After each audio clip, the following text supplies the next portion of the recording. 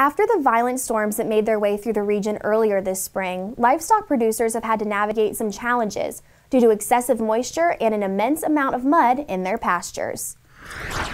We've had some challenging weather the last month, as everyone knows.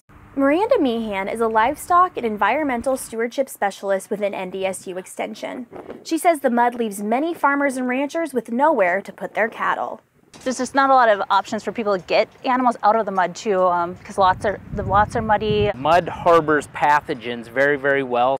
Zach Carlson, an NDSU Extension beef cattle specialist, urges ranchers and farmers to be aware of the possible health risks that come along with calves being in a muddy area for a long period of time.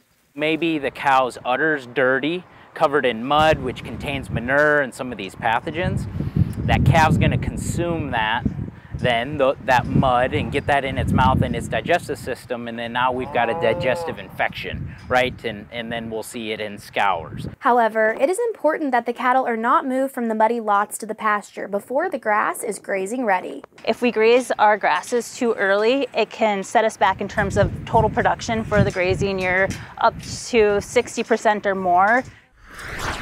Because of that, Meehan advises ranchers use good judgment when putting animals out to graze.